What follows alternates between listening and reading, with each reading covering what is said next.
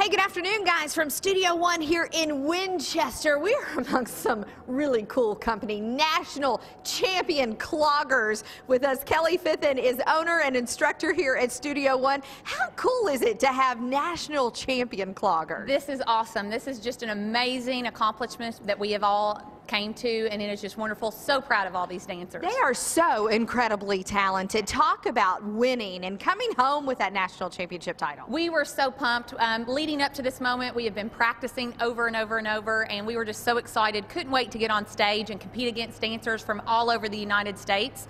And I just couldn't be prouder of all these dancers. As you should be. Keegan Hatton has been clogging for like 17 years now. Keegan finally came away with that national championship. Yes, Pretty cool. It takes a lot of work to be a national champion. Yes, ma'am, it sure does. And I think what sets us apart from everybody else is the fact that we've built this bond and we we're, we we don't just dance together, but we hang out together, and it's just a it's a sisterhood and a brotherhood that we've just kind of built together. You guys have so much fun together. We're going to let Sole Power take it away. National championship cloggers.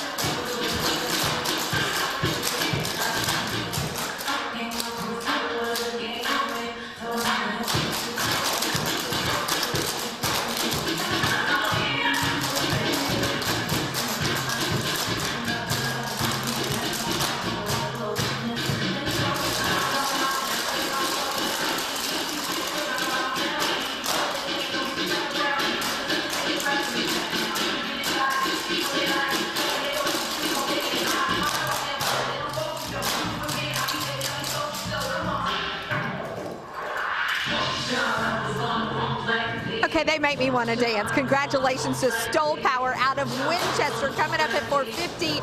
More from the national champion cloggers. I'm Deanne Stephens out and about. Back to you guys.